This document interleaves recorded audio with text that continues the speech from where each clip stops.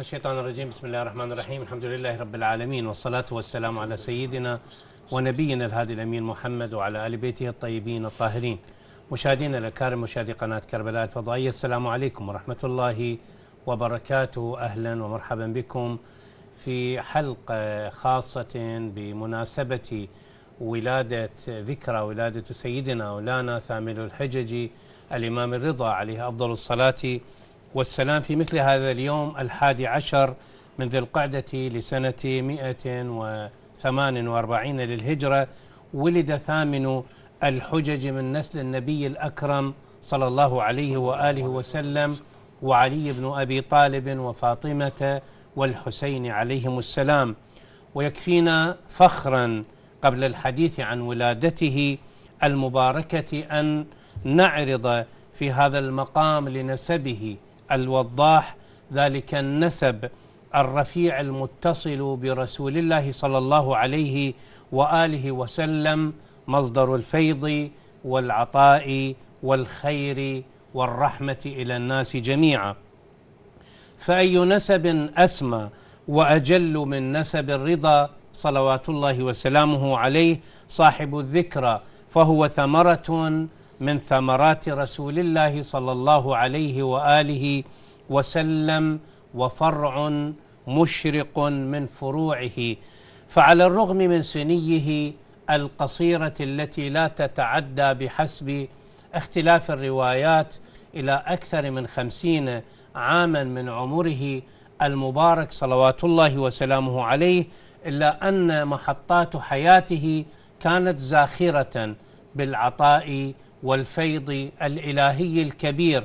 ويكفينا أيضا أن نشير إلى ما أشارت إليه بعض المصادر آه، عن في أخبار آه، عيون الإمام الرضا بسنده للشيخ الصدوق بسنده عن رجاء بن أبي الضحاك آه، عن واحد من الجلاوزة التي بعثهم المأمون العباسي لاستقدام الإمام الرضا صلوات الله وسلامه عليه من مدينة جده صلوات الله وسلامه عليه قال والله ما رأيت رجلا أتقى لله منه ولا أكثر ذكرا له في جميع أوقاته منه ولا أشد خوفا لله عز وجل وكان لا ينزل بلدا إلا قصده الناس يستفتونه في معالم دينهم فيجيبهم ويحدثهم الكثير عن أبيه عن آبائه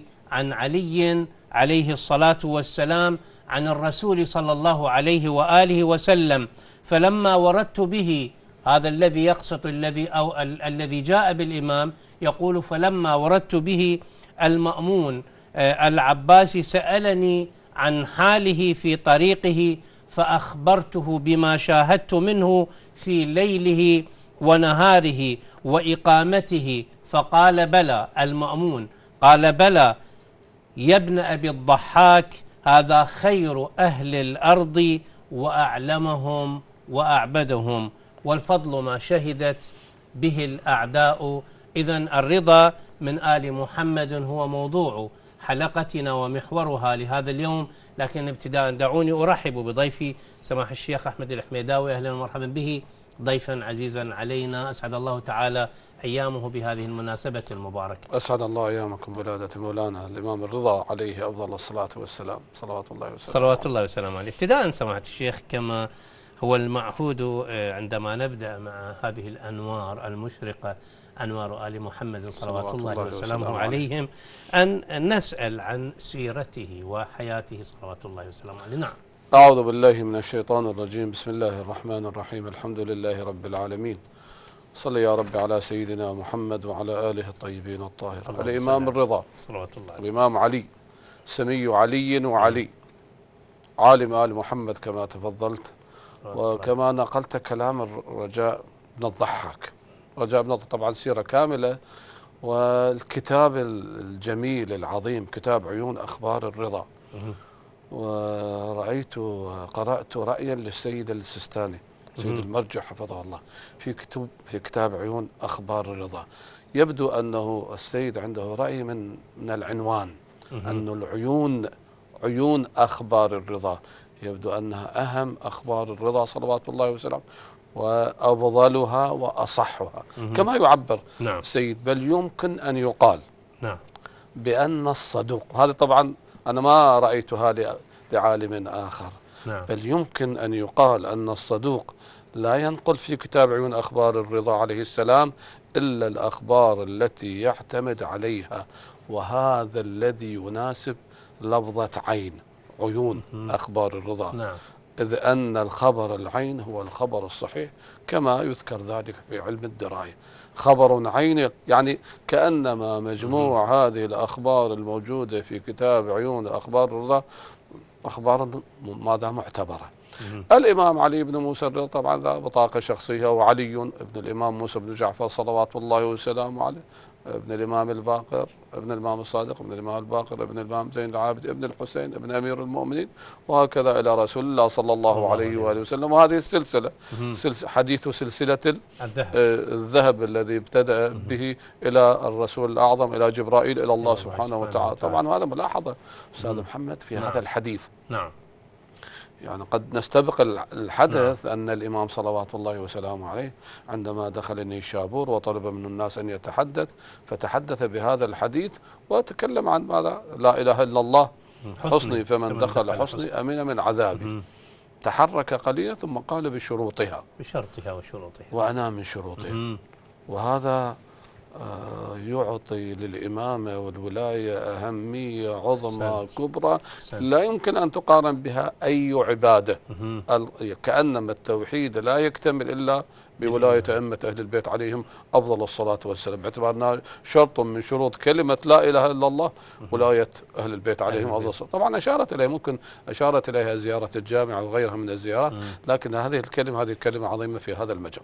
الإمام علي بن موسى الرضا نعم، عليه أفضل الصلاة والسلام. والسلام نعم. وليد المدينة المنورة سلام. وحبيب رسول الله صلى الله عليه وآله وسلم حتى أنه عندما خرج من المدينة المنورة بكى مرارا لأنه يعلم أنه سيفارق النبي صلى الله عليه. وآله وسلم بل الإمام الجواد عليه السلام بكى مرارا لأن علم أن الإمام الرضا عليه لن يعود بعد ذلك حتى أن الخادم لهم يقول له قم موفق قم لا يقوم قم لا حتى أن قم يا حبيبي يناديه الإمام الرضا عليه أفضل الصلاة كيف أقوم وأنت قد ودعت رسول الله صلى الله. عليه وآله وسلم الوداع الأخير أخير. بالنتيجة ابن المدينة المنورة ومحبوب أهل المدينة صلوات الله وسلامه.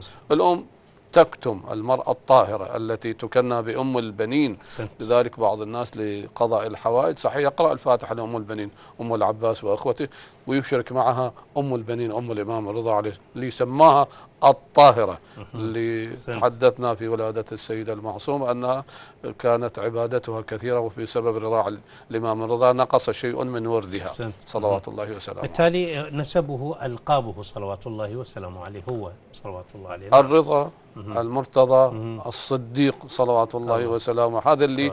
آه، تذكر حتى في زيارته آه، سلام عليك يا علي بن مسر الصديق كذا اللي يكون حجة على من في الأرض ومن آه، آه، حجة من في السماء وفوق الأرض. صلوات الله وسلامه عليه. وألقابه كثيرة طبعا. بعض الألقاب للأئمة عليهم السلام قد تكون ألقابا ل- مثلا لبعض الطوائف مثل المتوكل يكون لقبا للإمام سلام. الجواد. بعضها قد تخفى مثل هذه الألقاب. طبعا عالم آل محمد ولقبه ال- الإمام الصادق صلوات الله وسلامه. وتمنى إدراكه أحسنت. حتى أن الإمام موسى بن جعفر جمع أولاده وأوصاهم. بالإمام الرضا عليه السلام وقال كان طالما كان يقول لأبي سيخرج من صلبك عالم آل محمد الله. ليتني أدركته. الإمام الصادق صلوات الله طبعا هو أيام قلائل الظاهر بين, بين آه، ولادته وبين شهادة جده الإمام صلوات الله وسلامه. سلام. عالم آل محمد وأي علم لعالم آل محمد. طبعا مناظراته كلامه خصوصا في مجال التوحيد. يعني قبل أن نأتي على مناظراته ويعني إن شاء الله هذا نفرد له نعم. آه، بابا آخر. لكن آه، أيضا دعنا أيضا نتحدث عن أزواجه وأولاده صلوات الله وسلامه عليه. نعم. يبدو حسب بعض العلماء كابن شهر شهب وغيره أنه لا يوجد له ولد إلا الإمام الجواد صلوات الله سلام. وسلامه عليه. هكذا لكن بعضهم يذكر له أولادا خمسة من خمسة من ال- البنين وبنت واحدة. لكن ابن شهر آشوب وغيره باعتبار أن الإمام الرضا عليه السلام آه، تأخر بكونه أب. حتى بعضهم شك في إمامته. يعني بعضهم كان يشك في إمامة الإمام الرضا عليه السلام. كيف يكون إمام ولا عاقب له؟ وطالما كان يتحدث أن الإمام ولدي كيف يقول إنسان ولدي ولم يولد؟ فكانوا يجيبهم. وما يدرك أنه لا يولد لي ما يدرك أنه لا يولد, لا يولد لي ولد اللي طبعا كان أعظم بركة على الشيعة باعتبار قضى على هذه الفتنة وهذه الشبهة التي كانت بولادته صلوات الله وسلامه عليه. ولادة الإمام الجواد هذه الشبهة في أذهان بعض الإمام الرضا تأخر لأن ولادة الإمام الجواد متى؟ نعم. سنة 195 يعني قبل شهادة الإمام. الرضا بثمان سنوات. مهم. يعني قريب الإمام بال 45 سنة تقريبا. قريب 43 سنة حتى ولد الإمام الجواد عليه أنه تأخر كثيرا. لذلك أصبح شك عند بعض الناس. كيف يكون إمام وليس له ولد؟ فبعض المصادر التاريخية تذكر أنه له خمسة من البنين بنت واحدة لكن بن شهر شوبغي يقول لم يولد له إلا الإمام محمد الجواد الجواد صلوات الله وسلامه. يبدو زوجته الخ- الخزيران وغيرها أن هي أم الإمام الجواد عليه عليه أفضل الصلاة والسلام. نعم. بالتالي آه، سماحة ال- ال- الشيخ يعني هذا ال- العنوان أيضا يقودنا إلى آه، أن مرحلة أخرى عصفت بالأمة ربما أيضا كما أشرت إليه آه، طيا ال- القضية ال- آه، الواقفية قضية الوقف عند نعم. يعني عند إمام معين عند مثلا الإمام الكاظم صلوات الله وسلامه عليه. قد حصل ربما وعند نعم. الإمام أيضا مع الإمام الرضا أيضا صلوات الله وسلامه عليه قد حصل هذا الأمر آه، يعني كيف كان الإمام صلوات الله وسلامه عليه يعالجه أو عالجه الشيخ الطوسي رضوان الله عليه رضوان في الله. كتابه الغيبة نعم ذكر بابا في الوكلاء المذمومين والوكلاء الممدوحين. من ضمن الوكلاء المذمومين وكلاء الإمام الكاظم صلوات نعم. الله وسلامه باعتبار أن الأئمة كان لهم وكلاء وكلاء. من ضمن هؤلاء بعض وكلاء الإمام الكاظم عليه السلام الإمام. سجن في بغداد من قبل الطاغية هارون. هناك بعض الأموال توفرت لدى هؤلاء والشيطان أغرهم وخدعهم. أخذوا هذه الأموال والجواري بعضهم في مصر بعضهم في في مناطق أخرى من العراق وغيره وأنكروا إمامة الإمام الرضا عليه السلام. قالوا أن الإمام ال- الكاظم هو الإمام القائم الذي غاب وسيعود مرة أخرى. وطبعا استدلوا ببعض الروايات. الروايات طبعا تعبر عن جميع أئمة أهل البيت بأنه قائم آل محمد. كل إمام من من أئمتهم هو قائم. حتى أن هذا الدعاء الذي يدعى به اللهم كن لوليك الحجة هذا لكل إمام من الأئمة عليهم السلام من الرواية وردت فلان ابن فلان.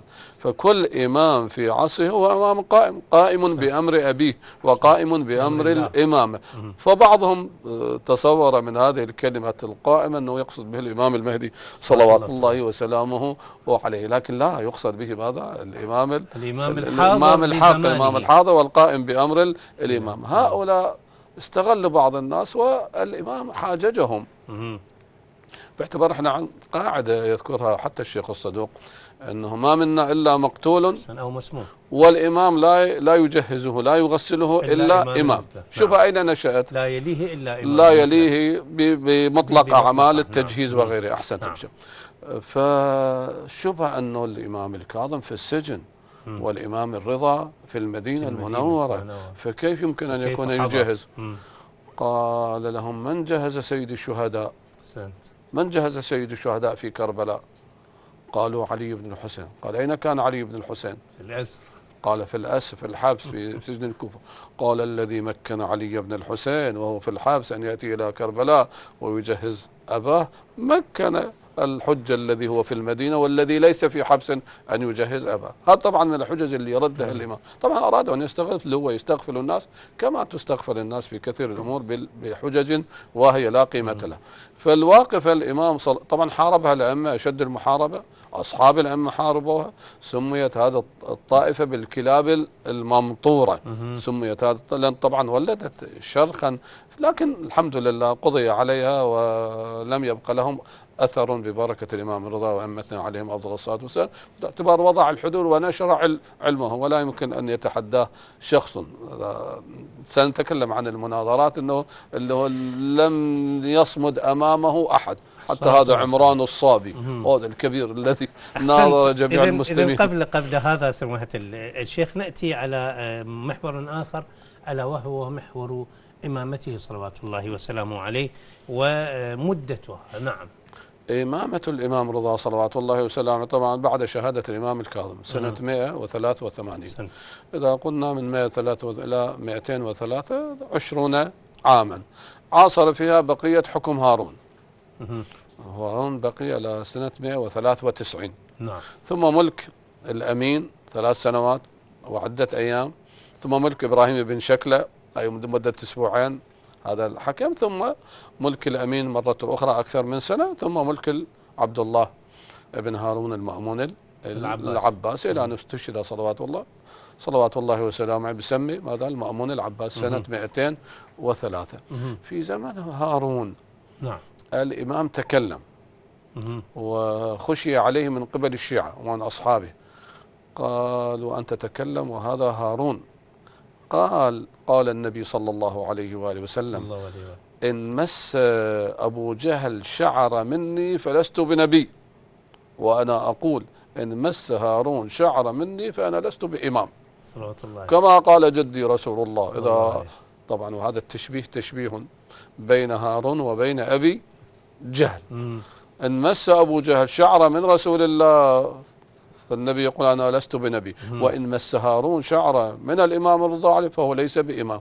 لكن لم يعتبر الكثير من هذه الكلمات التي النورانية التي نشرها الإمام صلوات الله وسلامه عليه. وأنه بالتالي حفيد جده وريث جده صلى الله عليه وآله وسلم. بالتالي فإن الإمام صلوات الله وسلامه عليه يعني آه، كما تقول الروايات أنهم حجج الله وأن لكل واحد منهم أمد وأجل وبالتالي دور نعم. لابد آه، أن يلعبه وأن يدركه.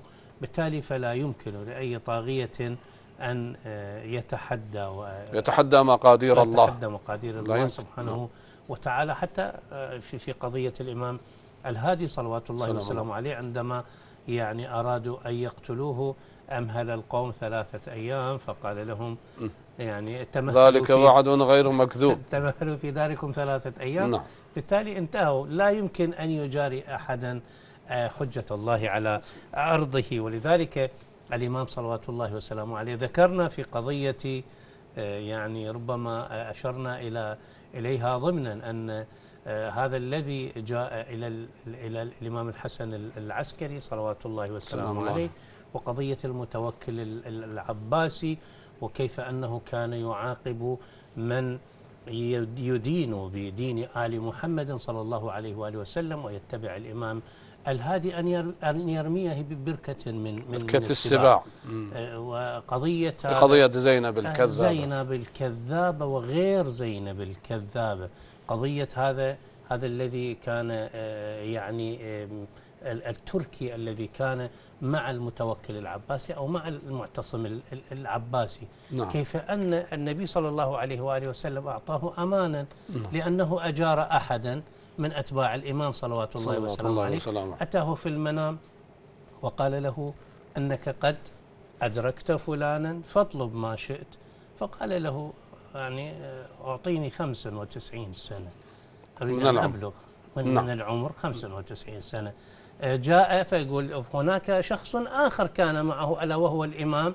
يقول أمنا على قول النبي الأكرم صلى الله, صلى الله عليه, عليه وآله وسلم. بالتالي هذا بقي لا يخاف ولا يخشى شيئا. يقول ينزل إلى الحرب بدون درع ولا سلاح. يقال له لماذا؟ قال أن أمانا أعطانيه رسول الله صلى ضمان الله رسول الله صلى الله عليه وآله وسلم. صلى الله وسلم. نعم. فكيف بالإمام الحجة عجل الله تعالى؟ فرجه الشريف. سفره إلى آه، يعني خراسان ولماذا؟ نعم. الإمام الرضا عليه السلام قلنا أغلب آه، سني عمره عاشها في المدينة المنورة. العباسيين العباسيين والأمويين استخدموا الطرق الكثيرة لصد الناس عن طريق أهل البيت عليهم أفضل الصلاة والسلام. حتى أنه ممكن آه، نعم. بالنسبة لجعفر ال- الكذاب كذاب جعفر الكذاب يقولون ذهب إلى آه، والي زمانه نعم قال اجعل لي منزلة أخي يعني مهم. الإمام الحسن العسكري فقال له هذا الشخص وهذا درس طبعا مم. قال إن السلطان قد عمل السيف في شيعة أخيك على أن يردهم على هذا الأمر فما استطاع مم. فإن كانت لك منزلة عند شيعة أخيك فتأخذها منهم وليس من من السلطان, السلطان. لأن السلطان عمل السيف وقتل الشيعة حتى يتركوا القول بالإمام لم يتركوا القول بالإمام لأن هذا لا ينال بنا هذا ينال من الله سبحانه وتعالى. العباس الأمويون والعباسيون كذبوا على أهل البيت. قتلوا الأئمة عليهم أفضل الصلاة والسلام حاولوا بشت بشتى الطرق ماذا؟ أن ينقصوا من قيمة الأئمة أن يزيحوا الأئمة عن عن الساحة. الساحة بس هم أئمة القلوب. صلوات الله وسلامه لم يستطيعوا. بادروا القتل لم يستطيعوا علم الم... طبعا المأمون يقولون من الأذكياء. أذكياء بين ال... بين العباس ابن. مراجل ابن مراجل.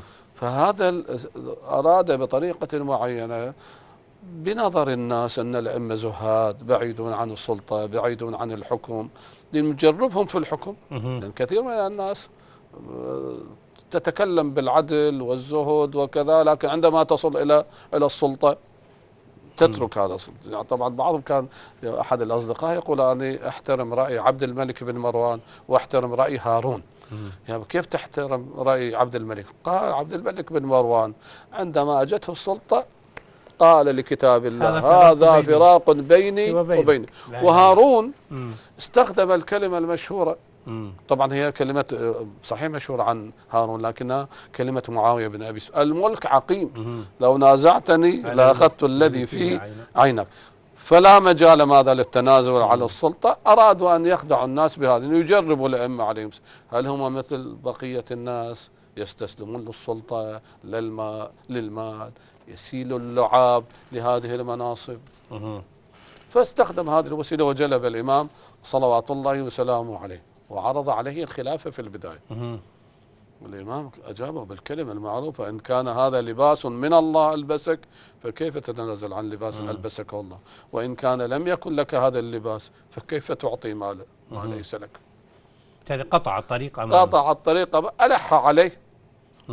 ألح عليه بطريقة خلينا. نتوقف عند هذا الفاصل نعم. سماحة الشيخ ثم نكمل هذا ال- ال- ال- الحديث لأن هذا الحديث فيه محور خاص نعم. ومردودات هذا الحديث ولماذا وما هي أسبابه لكن بعد أن نأخذ هذا الفاصل أعزائي المشاهدين كونوا معنا ولكن بعد هذا الفاصل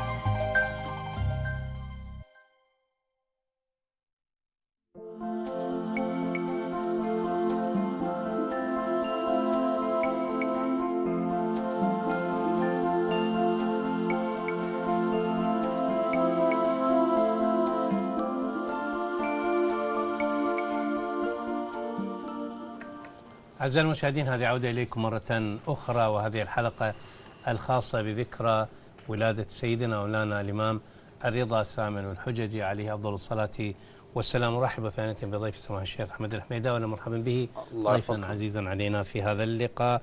وأسعد الله تعالى أيام مرة أخرى. سماحة الشيخ قلنا عن سفر الإمام وعن لماذا سفر الإمام ولماذا المأمون العباسي استدعى الإمام صلوات الله وسلامه عليه كما هي كما هو عادة آبائه أن استدعى الإمام الكاظم هارون العباسي حتى الإمام الصادق صلوات الله الصادق صلوات الله وسلامه عليه الباقر. الإمام الباقر نعم. وهكذا فهذا ديدن. نعم. ولذلك كان الأئمة صلوات الله وسلامه عليهم قد يعني عرفوا ما سيأتيهم من الحاكم. لكن مع ذلك هم كانوا يتعاملوا بحسب الظروف الطبيعية نعم. وقضية يعني الظرف الطبيعي. ولذلك خرج من مدينة جده صلوات الله وسلامه عليه يعني بقضية ربما الخارج فيها أي أحد لكن كمقام سيدنا مولانا الإمام الرضا صلوات الله وسلامه عليه. لا بد أن يكون لمن يفارق هذه المدينة بمقام الإمام الرضا آه، شأن آخر نعم.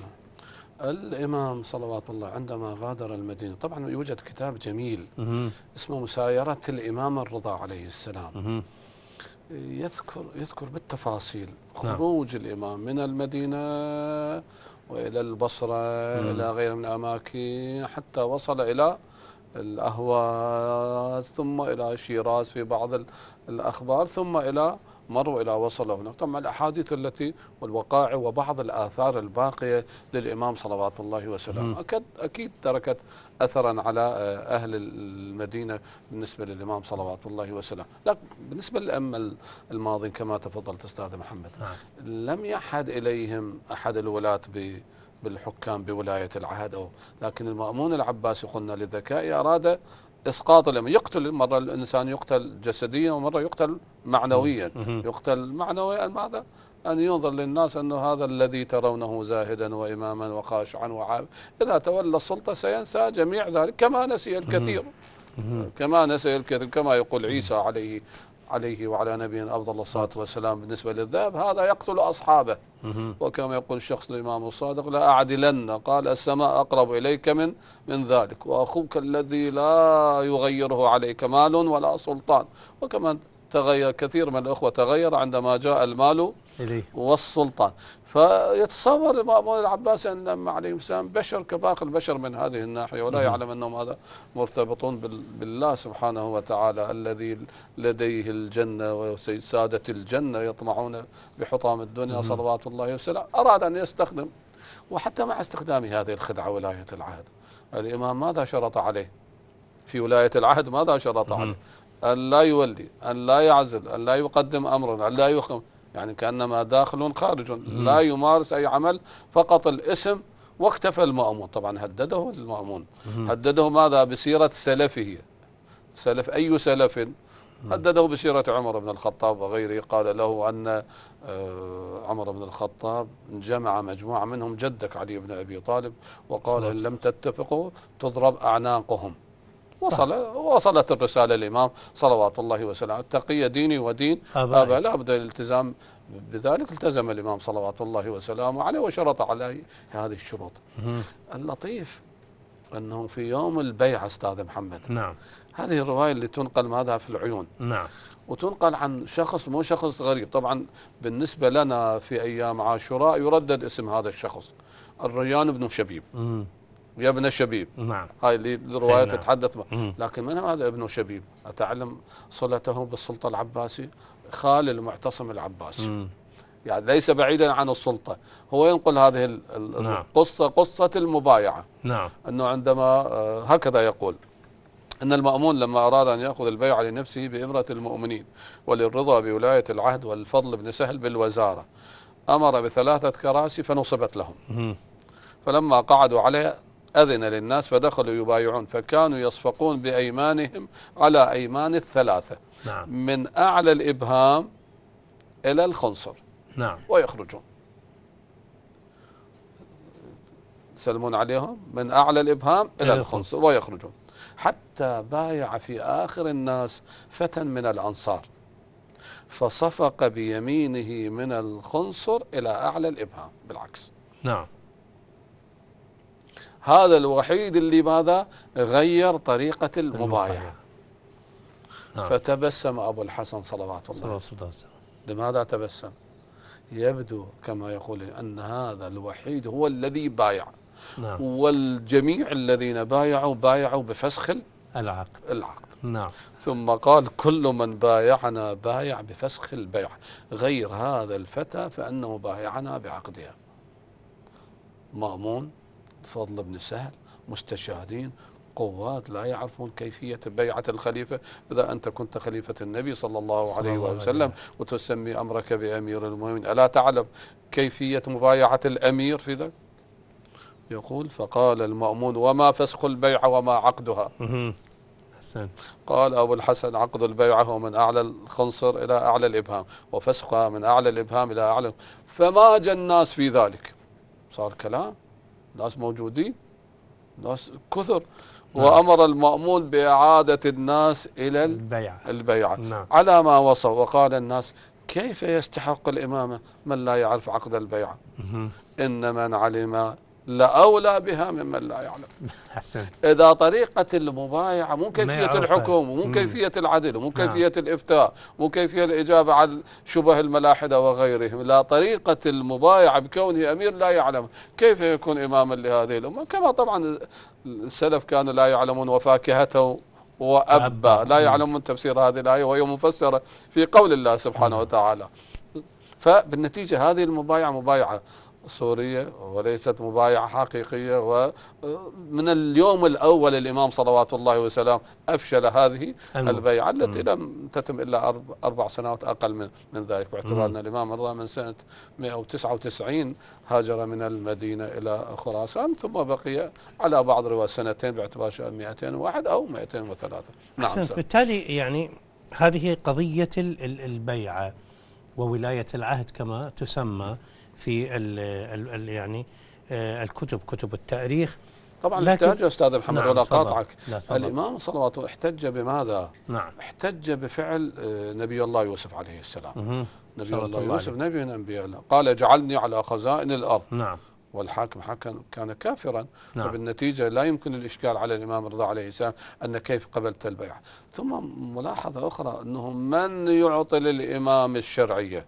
هل. الناس تعطي الإمام الشرعية وتعطي هو قوله فعله تقريره هو الحجة أحسنت. وبالتالي علينا أن كما في صلح الإمام الحسن صلوات الله وسلامه. عليه. صلح الإمام الحسن وغيره وفعل الخضر عليه السلام مع مم. موسى. هذه أفعال حجج الله وأفعال حجج لا يناقش فيها. ممكن أن تسأل تستفهم أما تستنكر على ذلك لا يمكن مم. هم حجج الله وهم أولى ماذا؟ بأفعالهم وما أعرف ماذا؟ الله أعلم حيث حيث رسالة. يجعل رسالته. طالما الله يعلم عليك أن تستسلم وتسلم ماذا؟ أحسنت. لهم صلوات الله وسلامه. عليهم. نعم. بالتالي يعني قضية ال- ال- البيعة وهذا ما يعني أولا أسقط بيد المأمون من أول طريقة ألا وهي كيفية البيعة. هذه أسقط بيد المأمون اتجاهها لكن لو أردنا أن نأتي بصورة أعمق إلى يعني تحليل لقضية ولاية العهد. لماذا ولاية العهد؟ ما الذي أراده؟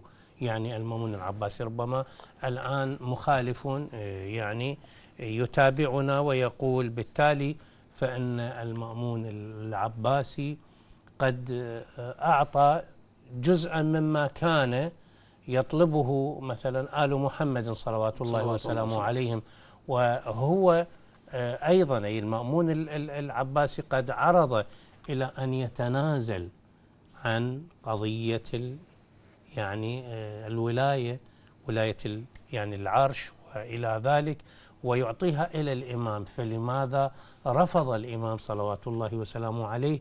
هذا أولا. ثم بعد ذلك لماذا كل هذا الإشكال الذي يدار حول هذه القضية إذا كان صاحب الأمر أي الإمام- الرضا هو الذي أساسا أبى أن يقبل هذه الولاية؟ قلنا أنه هل المأمون العباسي هو صاحب الحق نعم. في تنصيب خليفة وإمام؟ أبدا. هذا الرجل الذي آه، تسلم هذا المنصب بسفك الدماء. مهم. ودماء أقرب الناس إليه ليس آه، دماء أخوه. أخوه. أخوه ال- الأمين. الأمين. فإذا كان تصرف بهذا الأمر بقتل أخيه فكيف يمكن يعطي هذا الحكم اللي طبعا في أيام حياته الأخيرة ما الذي قتله؟ قتلته سمكة. سمكة في قرب طرطوس في سوريا كان الماء بارد وتتحرك وكان الماء صافيا. فأراد أن يمسك هذه السمكة فتحر قطع قطرات من الماء جاءت على جسمه فصاح البرد البرد. ثم أراد أن يخرج إلى عسكري العسكر الكبير. ثم قال يا من لا يزول ملكه ارحم من زال ملك. ملكه. لا. هذا الذي سفك الدماء من أجله. كم دماء سفكت؟ مم. يحيى بن هرثم بن عيون فلان فلان فلان وغير دماء العلوية التي سفكت في. المناطق المتحف هذا يمكن هذا اليد الملوثة بالدماء تسلم الإمامة للإمام صلوات الله. وسلامه الإمامة الإمامة ربانية الخلافة إلهية من الله سبحانه وتعالى الأئمة الأئمة اثنا, اثنا عشر مسجلين مسمين في صحيفة الزهراء وفي الروايات الكثيرة وهذا في كتب ال- المسلمين فلا يمكن أول مأمون عباسي ليس صادقا في هذا الأمر.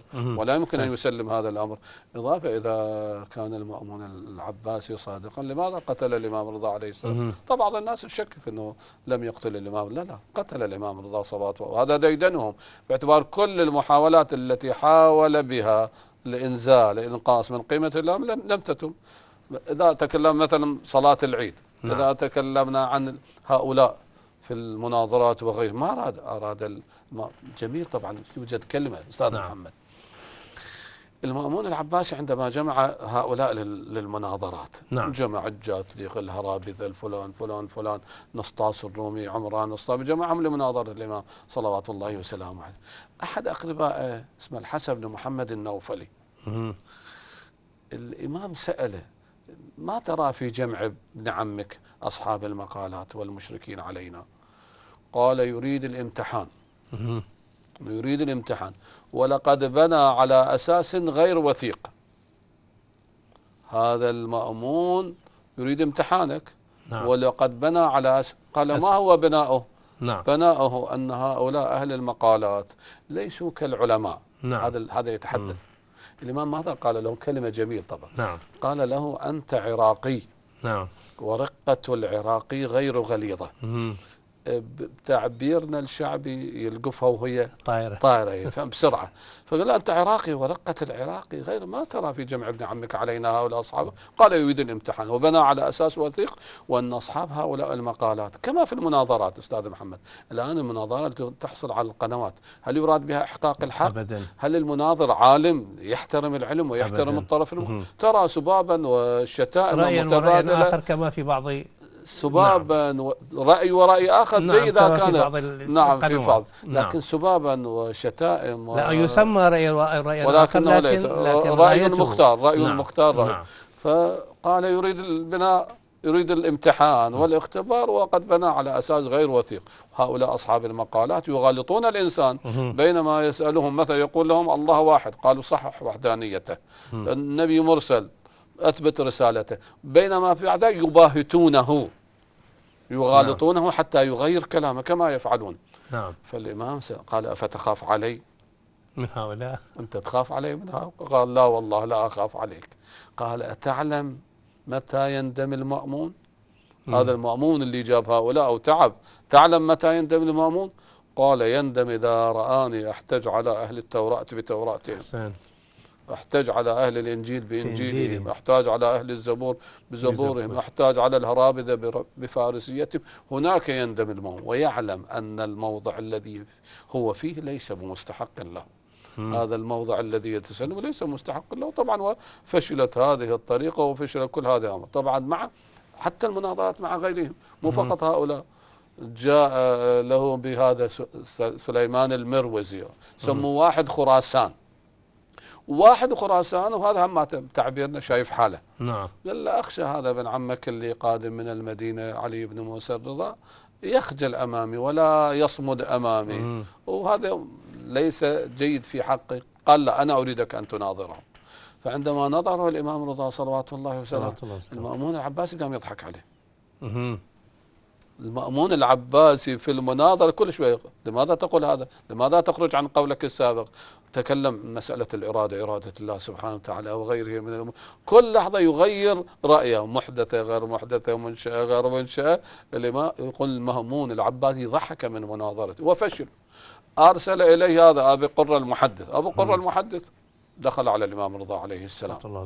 قال إنا روينا أن الكلام والرؤيا قسمت بين نبيين من أنبياء الله فالكلام لموسى على نبينا عليه وآله كريم الله والرؤيا لمحمد صلى الله عليه وآله. كما يؤمن بعضهم أنه يمكن أن يرى الله سبحانه وتعالى.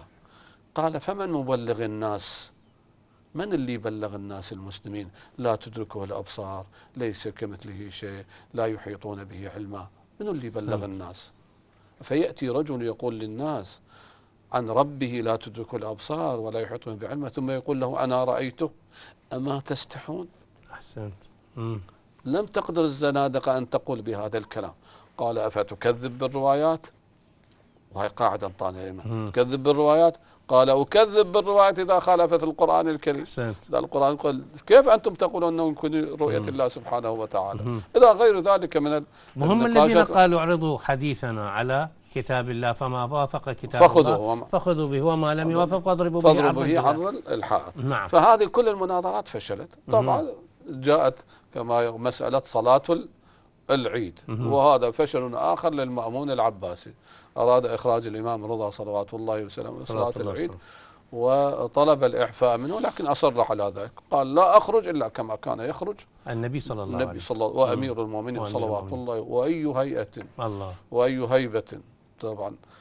كيف الهيئة والهيبة له صلواته؟ وخرج مع غلمانه وخدامه. خرج مشمرا إلى نصف ساقيه. حافيا بيده عكاز يمشي خطوات ثم يكبر. الله أكبر. فيكبر معه الناس. الهيئة اللي يقولون أنه المأمون العباس قال تهيئوا من الصباح. نعم. تحرك القادة تحركت الجنود.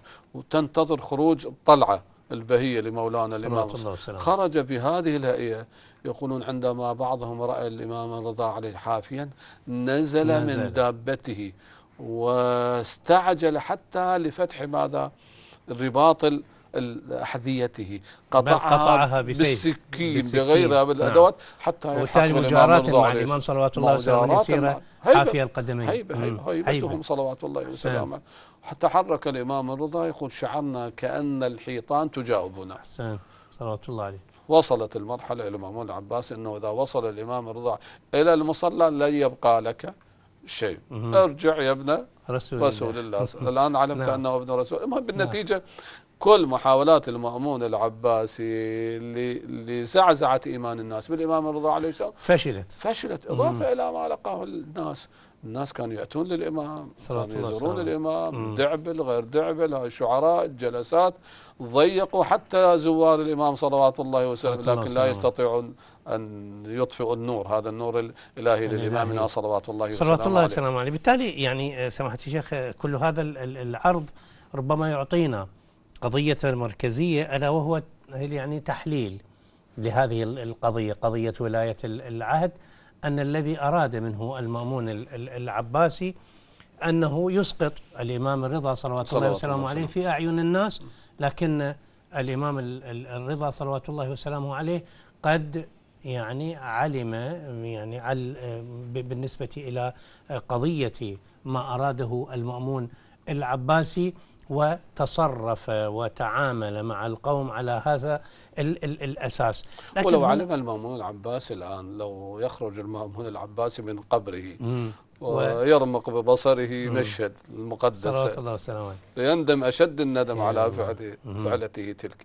لا يرى أنه ما هو القلوب. صلوات الله وسلامه سماحة الشيخ كان من سبقه يعني قد يعني ربما قال بكل ما آه، ربما لا بد أن للآخرين الذين آه، يعني أخذوا هذا المكان أخذوا هذا هذا المنصب أو ربما نزوا على هذا المنصب قضية النبي صلى الله عليه وآله وسلم بالنسبة إلى مروان بن الحكم. نزو القردة على نزو منبره. القردة على منبره. هذا هو شكلهم أعطاها النبي صلى الله عليه وآله وسلم هذه الصورة. نعم. وعندما ندم ال- الأول أقيلوني ولست بخيركم. وخير بخيركم. نعم. وهذا آه، يعني هذا النبي صلى الله عليه وآله وسلم وعلي عليه أفضل الصلاة والسلام يبشران بضحضاح من نار وما إلى ذلك لعلم نعم. من آه، يعني ربما نزع على هذا المنصب كيف آه، يكون مصيره. قضية ولاية العهد أيضا نرجع إليها. أن هناك ربما يقول أن المأمون العباسي ذكي.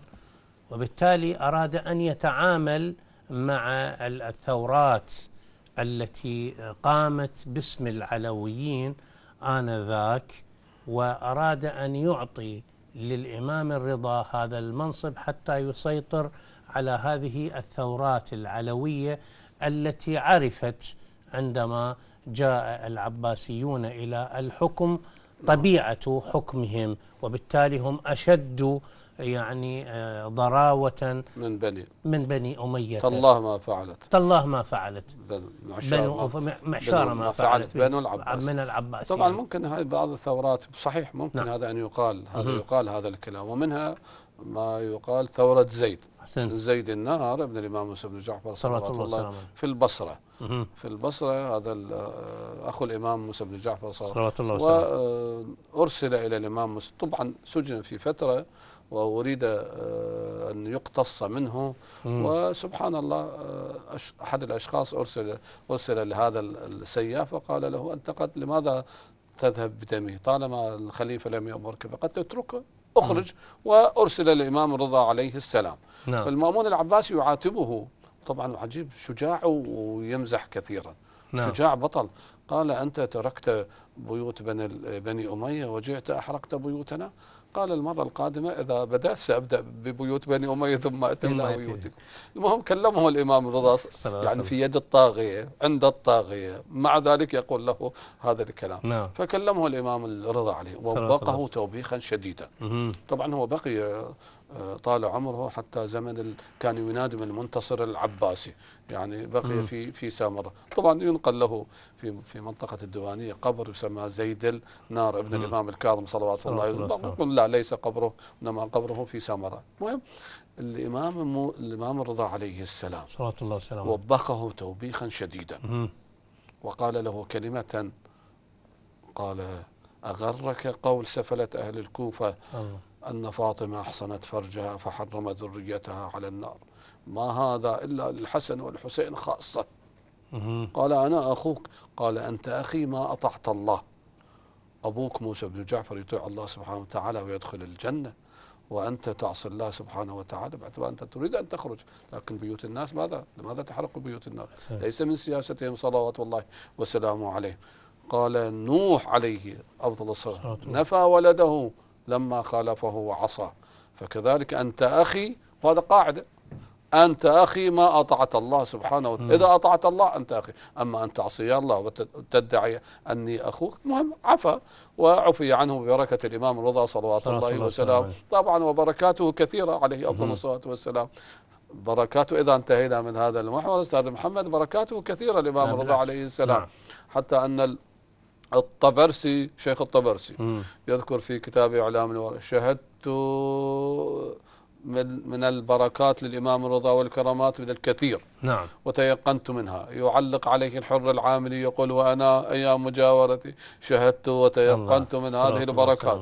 يعلق على كلام الشيخ العباس القوي يقول وأنا كذلك جاورت. الإمام الرضا وشهدت البركات والكرامات منه صلوات إن شاء الله سنشهد البركات إن شاء الله للإمام صلوات الله وسلامه فيها عليه. دقيقة في- لو انتهى لا الوقت. هذا انت- انتهى الوقت إذا شكرا جزيلا لك. سماحة الشيخ على ما تفضلت به. من حسن الإجابة. قضى الله لنا ولكم الحوائج. ببركة آه، صاحب الذكرى الإمام علي بن صلوات صلوات الله الله وسلامه عليه. عليه. شكرا جزيلا لكم. كذلك أعزائي المشاهدين هذا شكر واصل إليكم. إلى لقاءات أخرى. نستودعكم الله. السلام عليكم ورحمة الله وبركاته. شكرا. اللهم صل على أحسنت.